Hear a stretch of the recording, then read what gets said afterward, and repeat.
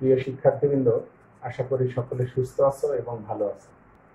আমি মনোজ কান্তি হীরা সিনিয়র শিক্ষক, S M model সরকারি উচ্চ বিদ্যালয়, গোপালগঞ্জ। আজকে আমি তোমাদের সামনে পদার্থবিজ্ঞান বিষয়ের পঞ্চম অধ্যায়, পদার্থের অবস্থা ও চাপ। এই অধ্যায়ের উপর একটি সৃজনশীল প্রশ্ন প্রথমে লিখব এবং পরে সমাধান করব। প্রিয় শিক্ষার্থীবৃন্দ, তোমরা পাঠে মনোযোগী হও এবং বোর্ডের দিকে তাকাও। আজকের বিষয় পদার্থবিজ্ঞান এবং অধ্যায় পঞ্চম, পদার্থের অবস্থা ও এক্স বস্তুর দৈর্ঘ্য, প্রস্থ ও উচ্চতা যথাক্রমে ছয় সেন্টিমিটার। চার সেন্টিমিটার ও দুই সেন্টিমিটার। বস্তুর ভর পঞ্চাশ গ্রাম। পদাবে ঘনত্ব কাকে বলে? পদাবে আলপিনের সুচালো মাথা।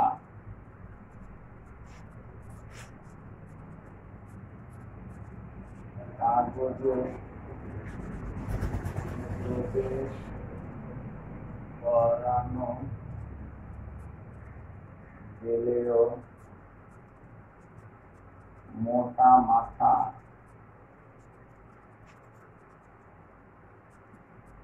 প্রবেশ করানো যায় না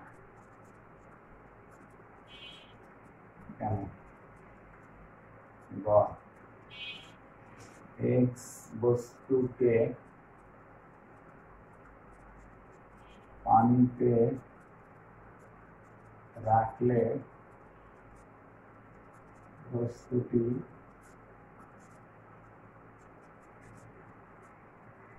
ডুববে না ভাসবে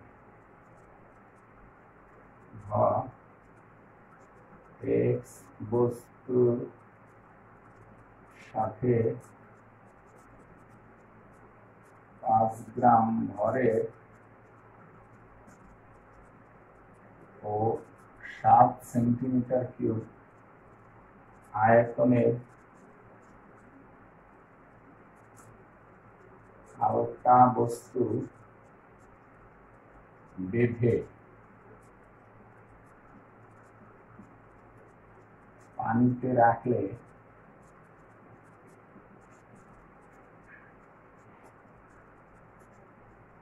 ডুববে না ভাসবে গাণিতিক ব্যাখ্যা দাও প্রিয় শিক্ষার্থীবৃন্দ এক্স বস্তুর দৈর্ঘ্য, প্রস্থ ও উচ্চতা যথাক্রমে ছয় সেন্টিমিটার চার সেন্টিমিটার দুই সেন্টিমিটার বস্তুর ভর আছে পঞ্চাশ গ্রাম। পদাগে ঘনত্ব কাকে বলে? পদাগে আলপিনের সুচালো মাথা কাগজে প্রবেশ করানো গেলেও মোটা মাথা প্রবেশ করানো যায় না কেন? এক্স বস্তুকে, অর্থাৎ এই উদ্দীপকের বস্তুকে পানিতে রাখলে বস্তুটি ডুববে না, ভাসবে।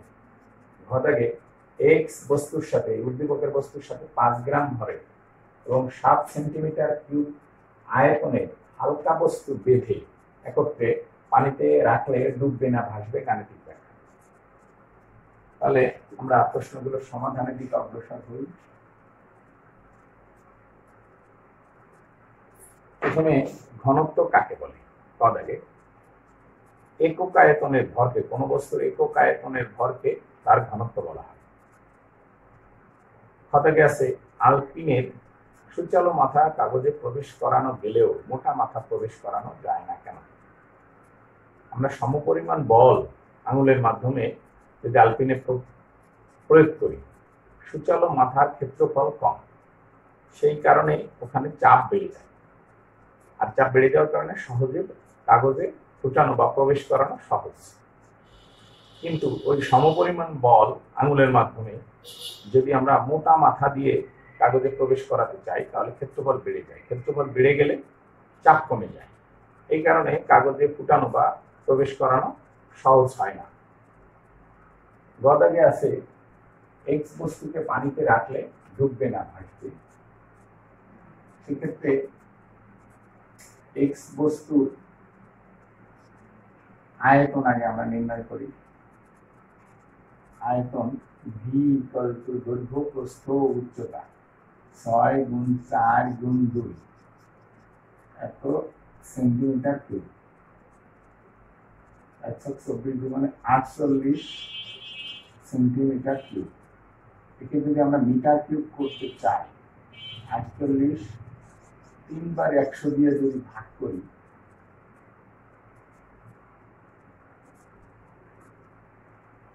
তাহলে দাঁড়ায়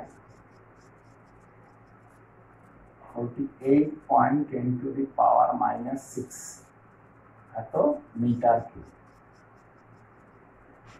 এবার ভর আছে এক্স বস্তুর ভর এম আছে পঞ্চাশ গ্রাম।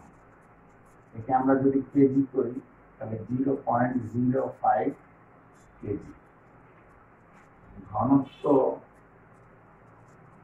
বি ইকুয়াল টু এম ভাগ ভি সেক্ষেত্রে এম আছে zero point zero five divided by forty eight point ten to the power minus six এটাকে ক্যালকুলেশন করলে দাঁড়ায়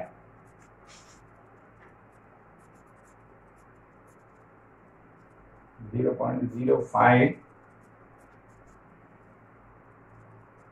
48 minus 6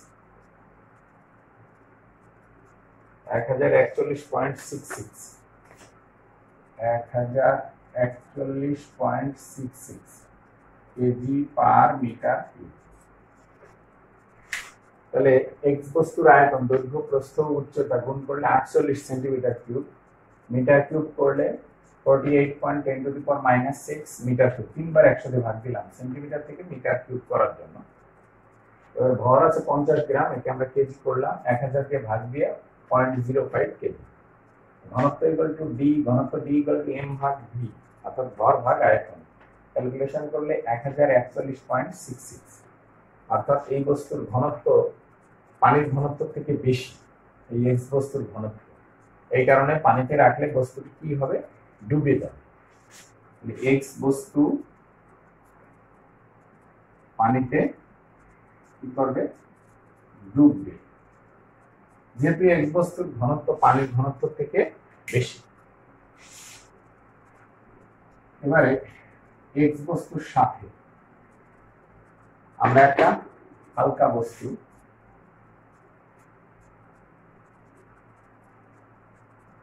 তাহলে হালকা বস্তু সহ। এক্স বস্তুর ভর।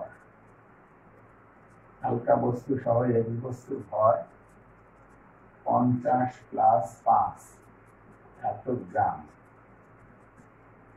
তার মানে zero point zero five five KG. একবারে আমরা গ্রাম থেকে কেজি করে দিলাম এক হাজার ভাগ দিয়ে। হালকা বস্তু সহ এক্স বস্তুর আয়তন ভি ইকুয়াল টু এক্স বস্তুর আয়তন আছে আটচল্লিশ প্লাস ষাট। এত সেন্টিমিটার কিউব তার মানে পঞ্চান্ন সেন্টিমিটার কিউব এটাকে মিটার কিউব করলে पंचानवे into ten to the power minus six metre ये घनत्व डी इक्वल टू एम भाग m ভাগ v point m five five divided by by 55 ten to to the minus six হালকা বস্তু সহ এক বস্তু ভর আছে পয়েন্ট জিরো ফাইভ ফাইভ ভর আর হালকা বস্তু সহ এক বস্তুর আয়তন আছে পঞ্চান্ন into ten to the power minus six calculation করলে দাঁড়ায়। Point zero point zero five five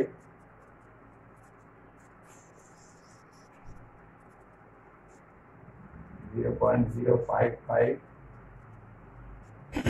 ভাগ পঞ্চান্ন মাইনাস সিক্স এক হাজার।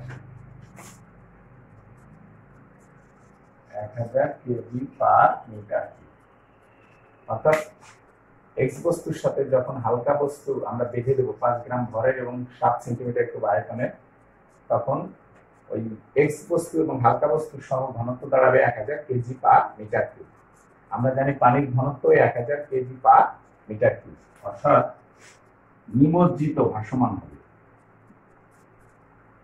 নিমজ্জিত ভাসমান থাকবে। অর্থাৎ এক বস্তুর সাথে হালকা বস্তু বেঁধে দিলে পানিতে ডুবে ডুবে ভাসবে, যেটা আমরা বলি ভাসবেও না, ডুববেও না, কিছুটা পানির নিচে থেকে ভাসবে। এই ভাসমানকে বলে নিমজ্জিত ভাসমান। যেহেতু ঘনত্ব, পানির ঘনত্ব এবং বস্তুর ঘনত্ব সমান। এই অবস্থায় নিমজ্জিত ভাসমান থাকবে। প্রিয় শিক্ষার্থীবৃন্দ সকলে ভালো থেকো।